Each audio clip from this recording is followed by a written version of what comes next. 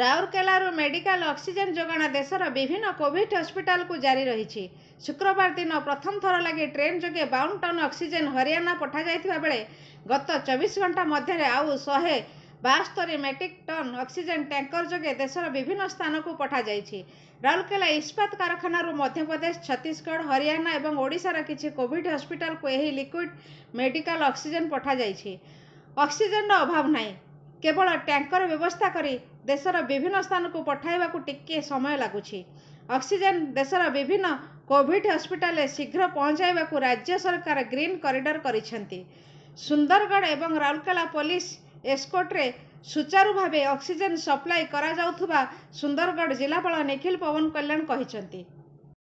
ଆମର ଅକ୍ସିଜେନ୍ ଯେଉଁ ବାହାରେ ଯାଉଛି ସେଇଟା ମେନଲି ଆମକୁ ଭେହିକଲ୍ ଟ୍ରାନ୍ସପୋର୍ଟେସନ୍ ପାଇଁ ଦରକାର ପଡ଼ୁଛି। ତ ଭେହିକଲ୍ ସେପଟରୁ ଆଣିବାର ସୋ ଆମେ ଲୋକାଲି ଆରେଞ୍ଜମେଣ୍ଟ କରୁଛୁ। and dedicated corridor gote koruchu police sp raurkela is helping a lot sp sundargarh tarafru bi dedicated corridor koriki se gaadi ku kemiti without any interruptions କାହାର କିଛି ଅସୁବିଧା ନାହିଁ କି ଡାଇରେକ୍ଟଲି ଲୋକେସନକୁ ପହଞ୍ଚିବା ବେଳିଆ କେତେଟା ଡ୍ରାଇଭର ମାନେ ତ କଣ୍ଟିନ୍ୟୁଅସଲି ଚଲାଉଛନ୍ତି there are some good feedbacks so we will continue to do so and ଏବେ ଯେମିତି ଏସ୍ମାରେ ଏସେନ୍ସିଆଲ କମୋଡିଟିସ୍ରେ ଅକ୍ସିଜେନକୁ ସରକାର ଯେମିତି ଅର୍ଡ଼ର କରିଦେଇଛନ୍ତି हमें सरप्लस को और एग्जिस्टिंग अवेलेबिलिटी को देख के डेफिशिट ना है बोलिए हमें प्लान कर।